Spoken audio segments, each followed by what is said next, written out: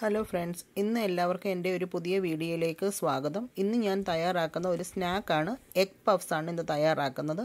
അപ്പോൾ ഇതിന് വേണ്ടിയിട്ട് ഞാൻ ഇവിടെ ഉപയോഗിക്കുന്നത് റെഡിമെയ്ഡ് പഫ് പേസ്ട്രി ഷീറ്റാണ് അപ്പം ഇതാണ് റെഡിമെയ്ഡ് പഫ് പേസ്ട്രി ഷീറ്റ് ഇത് നമുക്ക് സൂപ്പർ മാർക്കറ്റിലൊക്കെ വാങ്ങിക്കാൻ കിട്ടും. ഈ ഷേപ്പല്ല പല ഷേപ്പിലാണ് നമുക്ക് കിട്ടുന്നത്. അപ്പോൾ നമുക്ക് ഇത് വെച്ച് വളരെ ഈസി ആയിട്ട് എഗ് പഫ്സ് തയ്യാറാക്കാം. അപ്പോൾ ഇതിന് വേണ്ടുന്ന ബാക്കിയുള്ള ഇൻഗ്രീഡിയൻസ് എന്തൊക്കെയാണെന്ന് നോക്കാം.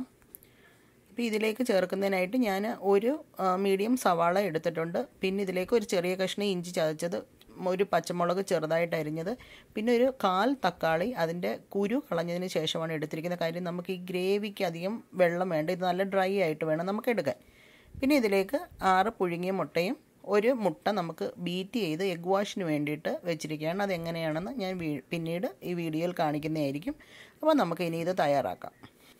അടുത്തതായിട്ട് നമുക്കിതിന്റെ ഫില്ലിംഗ് അങ്ങ് തയ്യാറാക്കണം. കാര്യം അത് നന്നായിട്ട് തണുത്തതിന് ശേഷം മാത്രമേ നമുക്കിത് പേസ്ട്രി ഷീറ്റിൽ വെക്കാൻ പറ്റുള്ളൂ. അപ്പോൾ ഇനി ഇതെങ്ങനെയാണ് തയ്യാറാക്കുന്നതെന്ന് നോക്കാം. അതിന് വേണ്ടിയിട്ട് ഒരു പാൻ വെച്ച് അതിലേക്ക് കുറച്ച് എണ്ണ ഒഴിച്ച് കൊടുത്തിട്ടുണ്ട്. അപ്പോൾ ഈ എണ്ണ നന്നായിട്ടൊന്ന് ചൂടായപ്പോഴത്തേക്ക് നമ്മളിതിലേക്ക് സവാള ഇട്ട് നന്നായിട്ട് ഇതിനെ ഒന്ന് വഴറ്റിയെടുക്കാം. ഈ സവാള ഒന്ന് വാടിയ ശേഷം ഇതിലേക്ക് ഇഞ്ചിയും പച്ചമുളകും കൂടെ ചേർത്ത് കൊടുത്തു. ഇനി നമുക്കിതിനെ നന്നായിട്ടൊന്ന് ഇളക്കി കൊടുക്കാം. ഇതിലേക്ക് ആവശ്യത്തിന് ഉപ്പും കൂടെ ചേർത്ത് കൊടുക്കാം. എന്നിട്ട് ഇതിന് നന്നായിട്ട് നമ്മൾ വഴറ്റിയെടുക്കണം. നല്ല ഫ്രൈ ആയിട്ടിരിക്കണം. അപ്പോൾ ഇതിന് ശേഷം ഇതിലേക്ക് നമ്മളിപ്പം ചേർത്ത് കൊടുത്തിരിക്കുന്നത് കാൽ ടീസ്പൂൺ മഞ്ഞൾപ്പൊടിയാണ് കാൽ ടീസ്പൂൺ മഞ്ഞൾപ്പൊടി ചേർത്ത് ഒന്ന് നന്നായിട്ട് ഇളക്കാം അപ്പോൾ നമുക്കിപ്പോൾ നല്ല മഞ്ഞൾപ്പൊടിയുടെ മണമൊക്കെ വരുന്നുണ്ട്. ഇനി നമ്മൾ അതിലേക്ക് ചേർത്ത് കൊടുത്ത ഒന്നര ടീസ്പൂൺ മല്ലിപ്പൊടിയാണ്. അപ്പോൾ ഇതിനകത്ത് നമ്മൾ കൂടുതൽ മല്ലിപ്പൊടിയാണ് ചേർത്ത് കൊടുക്കുന്നത്. അപ്പോൾ ഈ മല്ലിപ്പൊടി ഇതിനകത്ത് ഫ്രൈ ചെയ്യുമ്പോൾ തന്നെ നമുക്ക് ആ മുട്ട പപ്സിലൊക്കെ വെക്കുന്ന മസാലയുടെ മണമൊക്കെ നന്നായിട്ട് വരുന്നുണ്ട്. ഇനി നമ്മൾ അടുത്തതായിട്ട് ഇതിലേക്ക് ഒരു കാൽ ടീസ്പൂൺ മുളക് പൊടിയും കൂടെ നമ്മൾ ചേർത്ത് കൊടുക്കുന്നുണ്ട്. എന്നിട്ട് നന്നായിട്ടൊന്ന് ഇളക്കിയെടുക്കാം.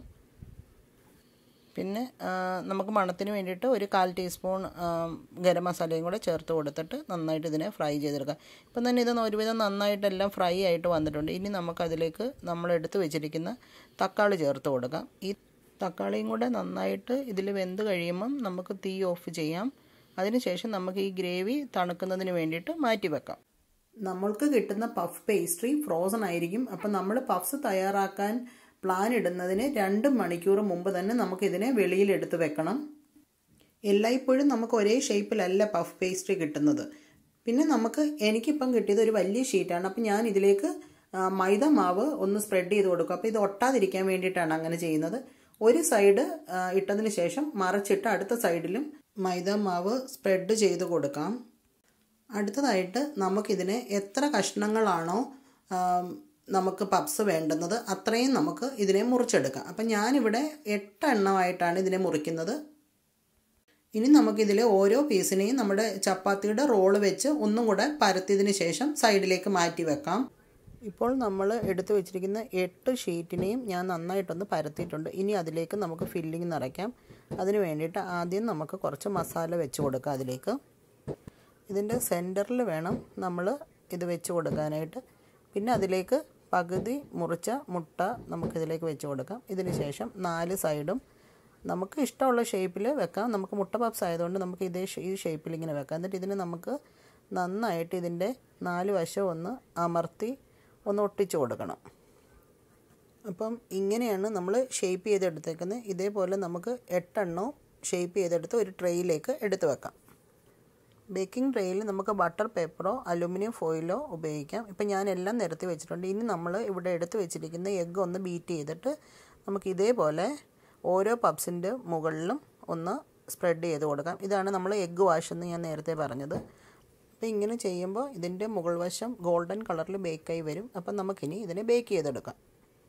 അപ്പോൾ നമ്മുടെ മുട്ട പപ്സ് ഇവിടെ റെഡി ആയിട്ടുണ്ട്. മുന്നൂറ്റി അമ്പത് ഡിഗ്രി ഫാരൻ ഹീറ്റ് അല്ലെങ്കിൽ നൂറ്റി എഴുപത് ഡിഗ്രി സെൽഷ്യസിലാണ് നമ്മളിത് ചെയ്തെടുത്തേക്കുന്നത്. തേർട്ടി ആണ് ഇതിന്റെ കുക്കിംഗ് ടൈം. റെഡിമെയ്ഡായിട്ട് പഫ് പേസ്ട്രി ഒക്കെ കിട്ടുന്നതുകൊണ്ട് വളരെ ഈസിയാണ് ഇത് ചെയ്യാനായിട്ട്. അപ്പം ചെയ്യാൻ പറ്റുന്നവരെല്ലാം ട്രൈ ചെയ്യുക അഭിപ്രായങ്ങൾ അറിയിക്കുക സബ്സ്ക്രൈബ് ചെയ്യാതെ ഫ്രണ്ട്സൊക്കെ സബ്സ്ക്രൈബ് ചെയ്യുക. Thank for watching the video.